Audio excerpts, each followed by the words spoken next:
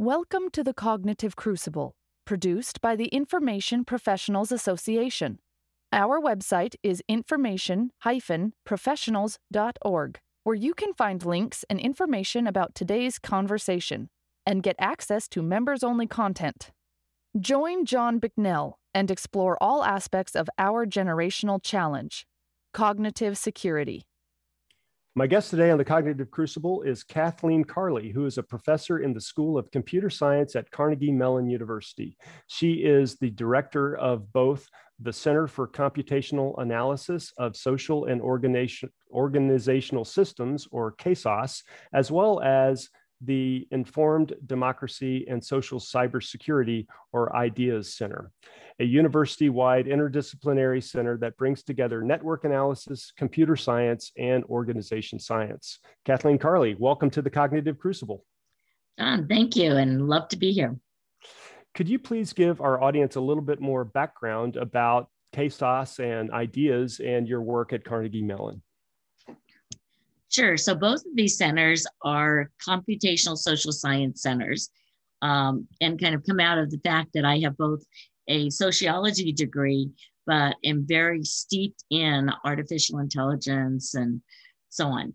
And where CASOS focuses on developing new computational social science techniques, uh, employing network science, simulation, machine learning to address complex problems like organizational design, public health issues, counterterrorism, IDEAS, which is the Informed Democracy Center, is focused on bringing together at the university level computer scientists, social scientists, policy analysts uh, to address issues of disinformation, hate speech, and extremism online. Fantastic. So, the conversation I'd like to have with you today is about uh, social cybersecurity and the BEND framework that you were part of developing. But before we get into these, could you take a step back and give our audience an overview of the information environment and how you currently perceive the challenges that we face as a society or maybe even the free world in general? Sure. So the information environment is extremely complex you know, because it involves both the tabloids you see in the newspaper, your conversations with people around you, all the various social media platforms, Google, Wikipedia, you know, anything you can get online. And it is inundated, and you are inundated by huge amount of information that is growing faster than we can count, some of which is true, some of which is false, and it's coming from all over the world. Um, so today, because of things like the reduction in newspapers and particularly local, local newspapers, we often call them news deserts. Um, the source and credibility of the information we're getting out there is no longer clear. It's no longer local. It spreads globally extremely fast. It gets amplified by things like bots and cyborgs, which aren't even people. And so it's difficult for us to think about what information is credible, to think about how it's getting spread, who is spreading it. And this is all made even more complicated by the fact that we're getting these new technologies almost every day that now can create content completely from scratch or that can create new images or can create films or videos you know the deep fakes are only a small part of that and and all of that means that it's faster to create content, it's faster to warp and change old content. But humans, you know, we're still just humans, right? We're still wired in the same old way, and we still have all these cognitive and social biases. And we still have a limit to how much information we can take in. So the way we perceive the environment and what we're taking out of it is still affected by our brains. And so it's become like this game almost in which what you're trying to affect is what people perceive and use people's own biases and cognition against them. Mm, right. Yeah. That's, uh, uh, we're overlaying all of this technology onto our brains, which are relatively unchanged or you know fixed uh, in this context. Yeah. Um, so it in your piece, and we've got a link to this in the show notes, it's called Social Cybersecurity and Emerging Science. Uh, you make a, hard distinction between social cybersecurity and cognitive security. Could you illuminate this space just a little bit for us? Sure. So the distinction we often make is that um, cognitive security is really about the brain and AI. It's really about developing new uh, artificial intelligence techniques that are patterned to act like the way people think. Uh, so that they can, by acting more like people, the idea is they will be better able to detect threats and so on. And all this, of course, is in contrast to cybersecurity, which is about hacking machines and data. Now, social cybersecurity is, in a sense, broader than cognitive security. It's really a new emerging scientific area that's computational social science and engineering. So it's focused on understanding, explaining, and reasoning about the you know cyber media environment about and about keeping people safe from safe so that they can operate, interact, get information without undue influence. And it's also about the engineering to build the tools, all some of which involve AI, but not all. They also involve language technology, um, the real science of social networks, uh, anthropology, psychology, and social. In some sense, the two key differences between cognitive security and social cybersecurity is that cognitive security is really about the person and the person's brain in isolation. So it's like machine and person. Whereas social cybersecurity says, look, you know, people are not isolated, they're social beings. And because of that, a lot of what can be done in, in this area is affecting the world in which you live and, and the people you know, and using social influence and social processes as part of the whole campaign. So one, it's it's individual versus the group, but the and I think the other um, difference is that cognitive security almost gives the impression that AI is the answer, right? We can just make machines think like humans. We're going to solve everything. Whereas I think in social cybersecurity, we recognize that yes, AI is important, but it's never going to solve everything. And that the real problems here are going to require both new policy, new technologies, not all of which are based in artificial intelligence, uh, different kinds of education, and so on. So it's more complex.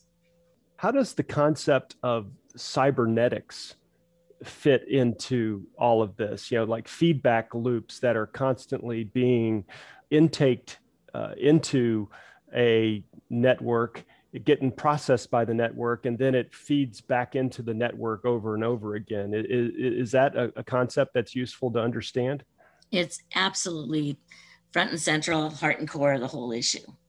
Um, because for example a lot of the way things work like um, if you're trying to amplify messages such as disinformation to get them to spread you you can't just send it out to a thousand people. You want to send you want to get the message to you know the right thousand people so that they can then use their groups to spread it back and so it can go back to the originator and get adapted and changed more and go bigger and bigger and bigger.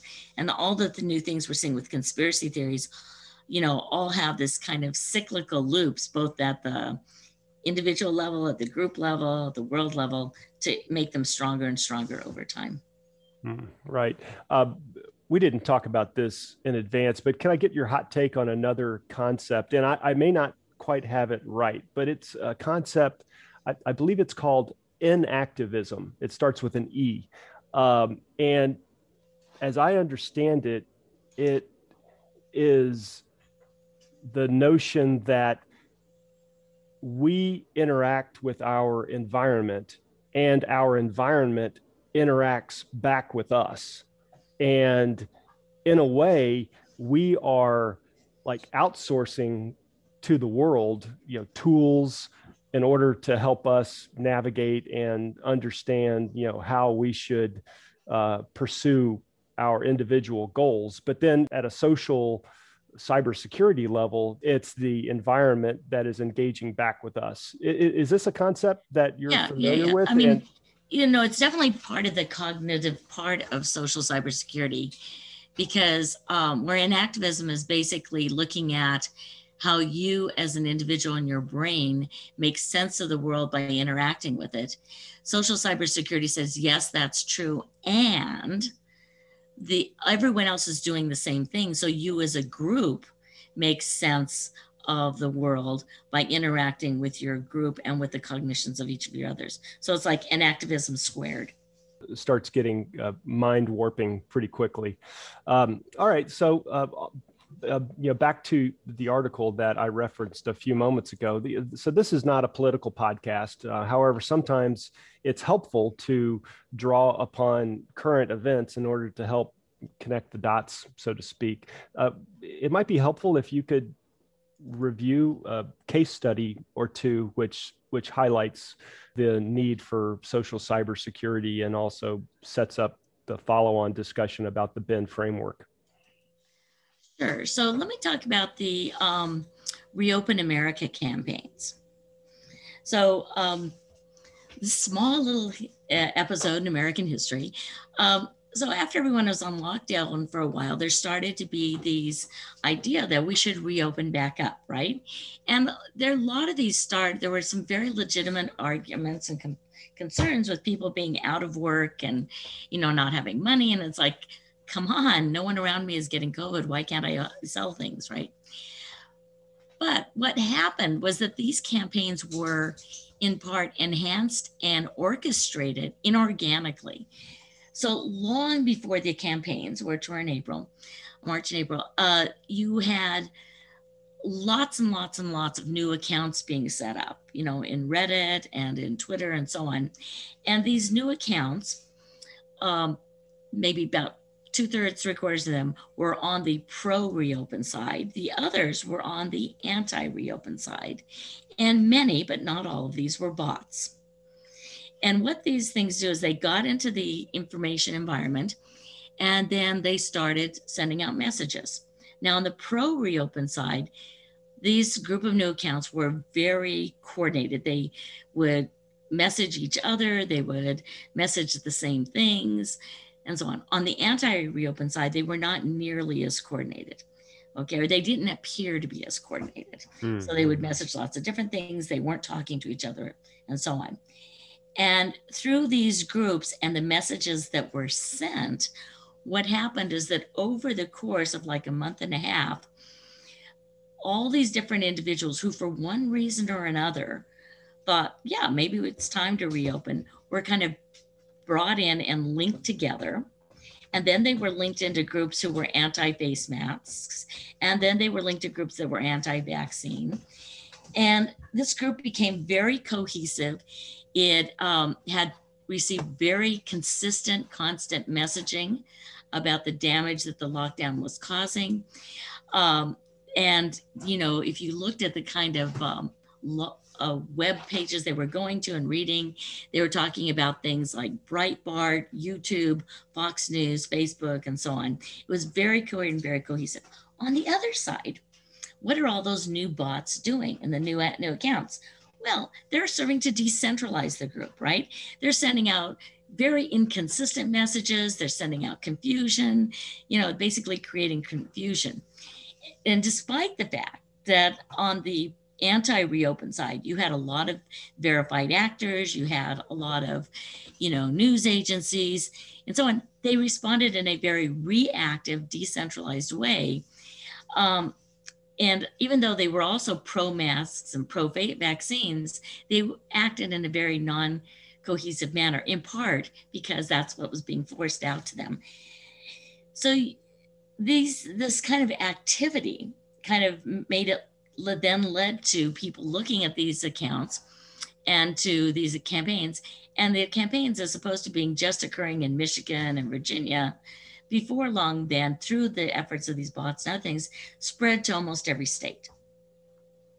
Hmm. You know, yeah, yeah, and so they were. It was a very interesting campaign because they made it look like this was a huge movement when it wasn't really that big but you know with very specially crafted images and specially constructed dialogues and so on so it used all the different forms of media we have at our disposal to create this kind of reopen but the one interesting thing that they did from a media perspective in addition is that they transformed the dialogue, where initially it was all about, you know, reopen, you know, it's like, I, you know, I'm out of work. I need money. You know, I have legitimate concerns. Then they build and bridge these groups together, and then they shifted the conversation, a rhetorical shift to talking about rights. And all of a sudden, it became a political movement because now it was about, you know, how my rights don't stop, you know, when your fear starts and things like that. And the whole mask thing became a right not to wear a mask. And that was all kind of done through this kind of influence campaign in social media. So that's one example. Mm. And then another example, let me give you is more uh, is still more current, which is the anti-vaccine example. Mm-hmm. So um, being pro and anti, the anti-vaccine movement you know, is a worldwide movement. It it predates COVID. You know, it predates the internet. There have always been people who don't want, didn't want vaccines for one reason or another. But what's happened during COVID is that as COVID first started, you know, in February of, you know, you know, January, February 2019, you already started seeing people going out and linking COVID to the anti-vax movement, preparing people so that if and when a vaccine came out from COVID, they wouldn't want it.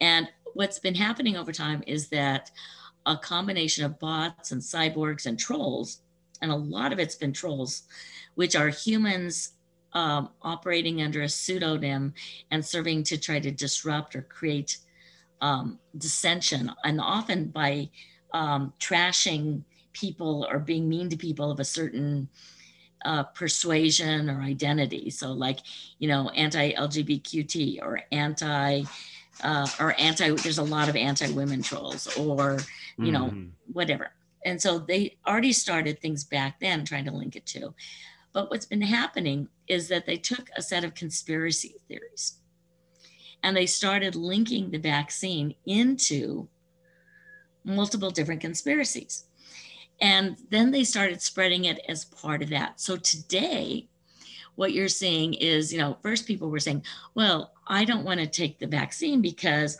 when they give it to me, it's going to contain an RFID chip that will allow the government to control me, you know, through these new new towers they're putting up, 5G towers. Patently not true. The RFID tags, if there were, they were on the outside of the tubes, right? But people had got that concern because that was one of the conspiracy stories that were spread to them. Um, another one that and right now we have ones that are going on about how the CDC is lying, that the pandemic was orchestrated, that the vaccine itself causes infertility. And the thing about these is all of these stories and all become part of these bigger conspiracies, but they're spread online um, in very clever ways. So some of them will start because they might start in a state-sponsored media, media like China, China's, and then the bots will then propagate into the U.S. and then the U.S. citizens themselves will pick it up and take it. That's one, so that's one way it comes in. But the other thing, how it comes in, is very clever, is that they utilize things that are not really lies, but they're kind of misdirection, right? Like I hear that the CDC changed its policy on you know, when to wear face masks. So everything we've been told is a lie. And all of a sudden, mm-hmm. then it turns into the CDC is lying. So it's the it's very carefully marketed, orchestrated terms. And like I said, it's done through a set of Denzians.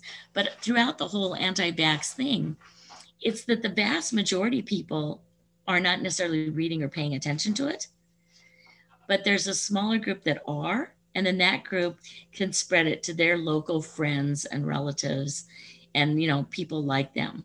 And and and because they've tied it into so many political issues it appears like a political issue now too.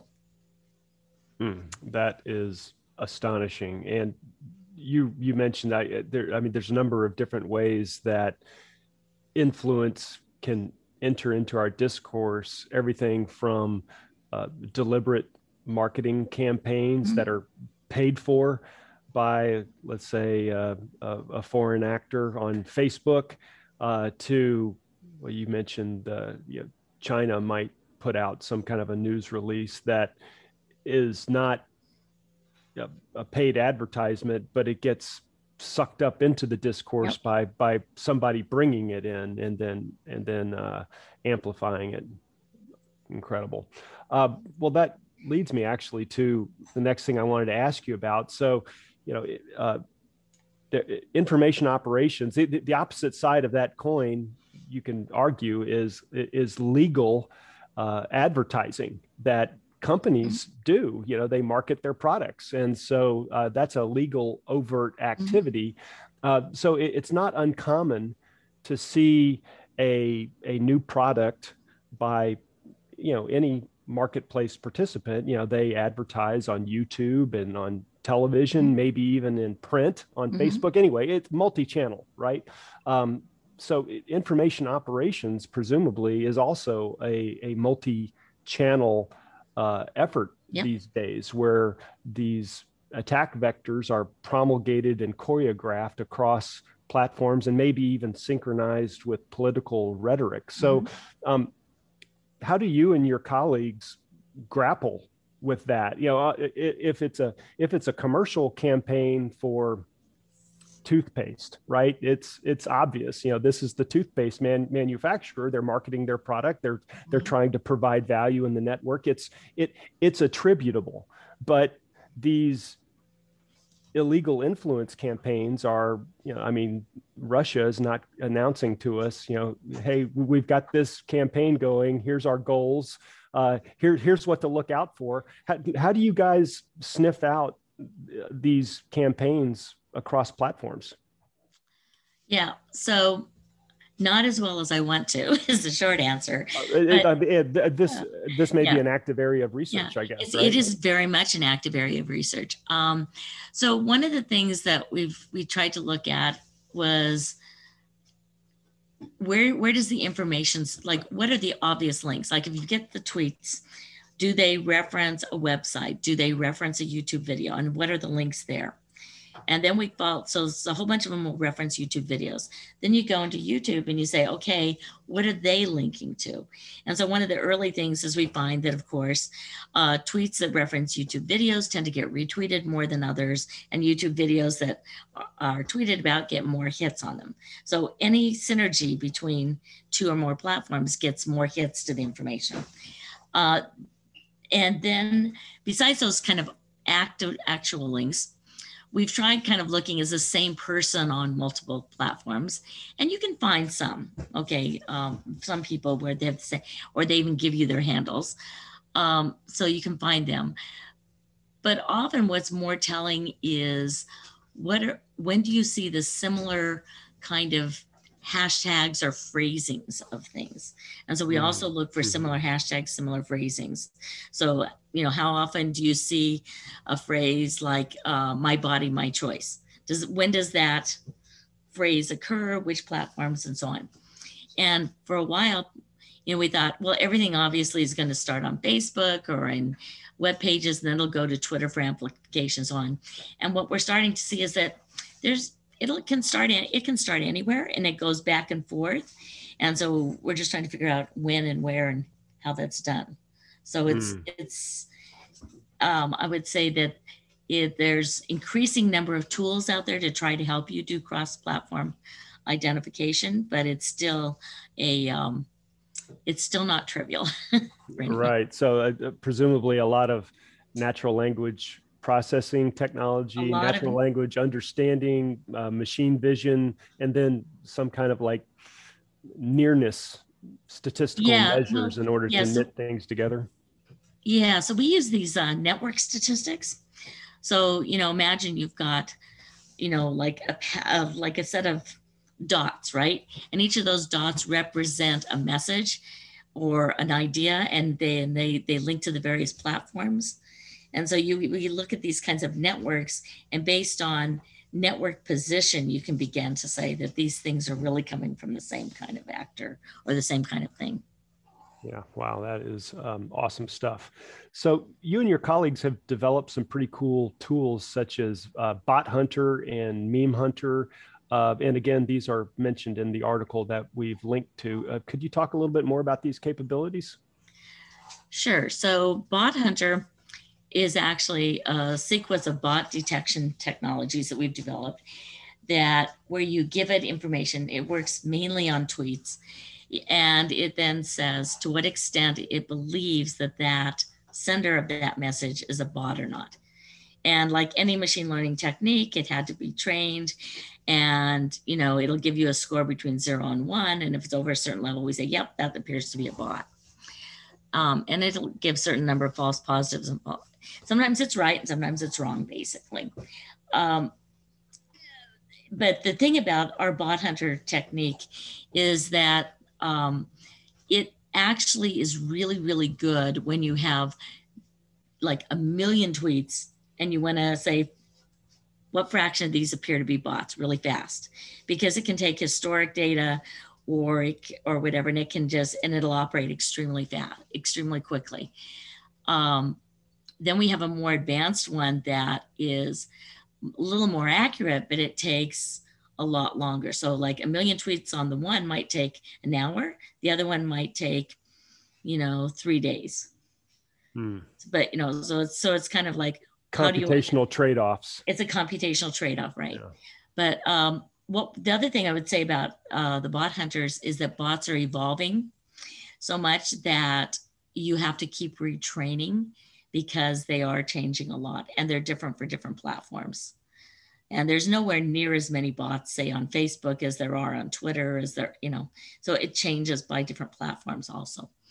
Now meme hunter is uh, again, a machine learning technique. And one of the things that makes both Bot, Bot Hunter, Meme Hunter a little different than some of the other tools out there is that they take both some of the network position of the of the of the senders into account, but they also try to take uh, various kinds of content into account. Now, Meme Hunter is finding memes. These are like these images with words on them, right? So a lot of times they're a talk like a cat that says, "How cute are cats?" underneath mm-hmm, it. Right? right? Yeah. And so we built Meme Hunter to basically identify whether an image was a meme or not. Uh, that was that was in a thing because what we found is that with political discourse, memes were extremely frequently used, and they're often used in a very nuanced way. And that is, you'll get the same image, but then you'll see they'll just shift the wording on it, right? Hmm. So it'll hmm. go from, you know, Democrat to Republican to Democrat to Republican, or it'll go from pro-vax to anti-vax by just subtle shiftings of the word. So you'll get these debates back by simply looking at memes that are kind of similar but with slightly different words.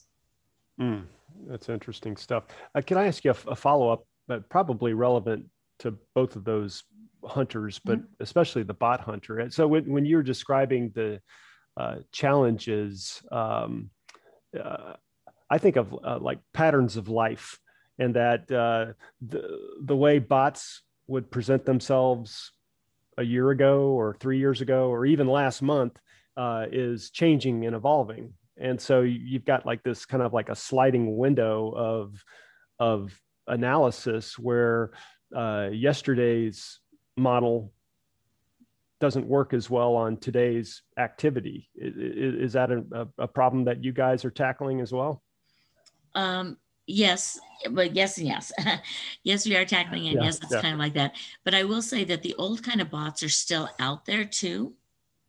Mm. So it's not that they, it's not like it's technology where everybody said, oh, you know, I wanted to say, oh, now I want an electric car. Oh, now I want a self-drive car. It's not like all it's like everything is there kind of co-present it's just which ones are used for which kind of activity changes and new and, new, and new ones keep getting new ttps yeah. are being uh, introduced into the, the yeah. marketplace if you will uh, right. continually oh, yeah. wow yeah what a what a challenge um, okay so now I, I guess i'd like to ask you if maybe you can start putting this together and so you, you developed the bend framework uh, b-e-n-d uh, and that's an acronym, acronym in order to address some of these challenges, at least the way I understand it. Could you please describe this framework and um, also maybe talk about you know, what types of organizations uh, do you think should be examining and adopting these kinds of tools? Okay. So the Bend framework tries to look at information maneuvers in terms of who is doing what to whom with what impact. So for the who is doing what, uh, is we're talking about things like is this not was it joe doing it but is it a bot or is it a troll or is it a cyborg mm-hmm. you know or is it a verified account or a news agency so it's all these technologies all these hunters first to say what kind of actor is it who's sending it and then the what are they doing part is where the BEND comes in and that literally stands for uh, 16 different maneuvers like things like um, trying to excite people with your message or trying to create dismay or trying to build a group where there was none or try, trying to destroy a group where there was one. So, so there are both maneuvers that are aimed at changing what is being said or how it is being said, as well as maneuvers that are aimed at changing who is talking to whom and who are the leaders of those groups. Mm-hmm. And then mm-hmm. the to whom is are these being directed at specific individuals? So, like in the reopen campaign, many of the Democratic governors had backing maneuvers done to support them at first, and then their backers turned into creating dismay about that governor so that people quit that to try to reduce trust in them, for mm. example. Mm. And uh, then we have, with what impact, what we're trying to do is get beyond saying, you know the thing that we love in communication which is reach like how many people read my post to being able to say well what did it do? Did it increase or decrease echo chamberness? Did it create mass hysteria? Did you know so we're trying to create measures of impact that are at that more kind of group level. So that's mm-hmm. kind of what the whole BEND framework is about. And in terms of who should use it clearly there's a national security need here um, as in you know, whether it's NATO or whether it's Strat or whether it's our own forces or whatever, you know, they want to get beyond analyzing the world in terms of kind of finding the magic tweet of the day or the magic YouTube post and send it consistently is what is it that the adversary's trying to do? And therefore, how should we kind of counter that? So you get their playbooks laid out more in terms of these maneuvers rather than what I dreamed up last last night kind of things. Uh, at the corporate level, it's also extremely useful. And in fact, I usually argue that every company out there should invest in having a social cybersecurity team hmm. that tries to maintain their brand, maintain their image, you know, and builds a community around them of people who will support support and you know support their image and that they can support and support their news. That that because creating that trusted community around you is one of the ways of keeping your airspace a little bit clear of uh, disinformation. Finally i would say it's also applicable at the individual level. In fact we just did this thing where we talked about BEND and you where we were talking to individual people about okay you send out this post you think it's doing that? Well here's how it's being interpreted by other people or here's what maneuvers are being in your airspace that you're seeing that are trying to affect you yourself.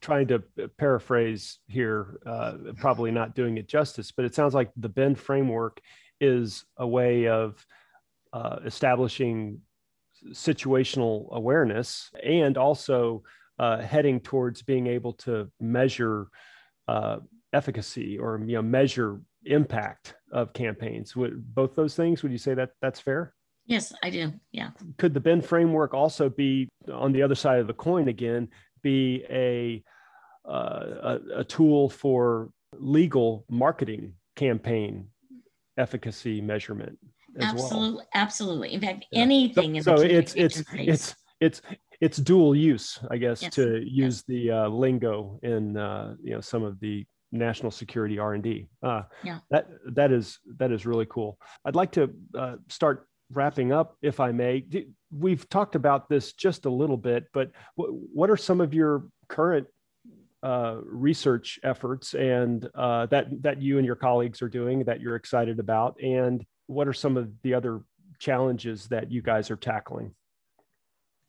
Well, one of our current challenge things that we're working on is trying to improve the BEND metrics to take into account behavior over time.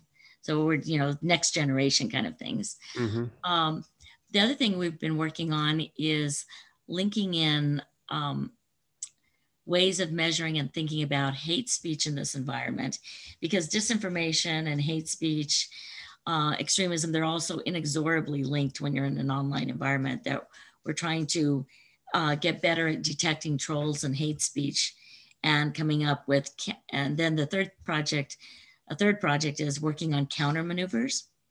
That is if someone is doing this to you or your company or whatever how should you respond? Or what, what is an effective response?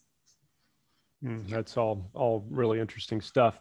Could you offer to our audience a, a a book or maybe an online resource that they might not know about which touches upon some of these things? So i would so i'm, I'm not going to offer a book but i will say that our um, the IDeaS website and the CASOS website have uh, publications on them, and I would definitely go to there. But I would also go to the Social Cybersecurity Working Group's website as well, because all of those um, you'll be able to get lots of information. Yeah, or they can reach out to me, and I can be more directive. Professor Kathleen Carley, thank you so much for being on the Cognitive Crucible. My pleasure, and thanks for having me. This is fun. The Cognitive Crucible is the only podcast dedicated to increasing interdisciplinary collaboration between information operations practitioners, scholars, and policymakers. To find out more about the Information Professionals Association, visit us at information professionals.org. Please support our podcast by giving us a five star rating and leaving a review.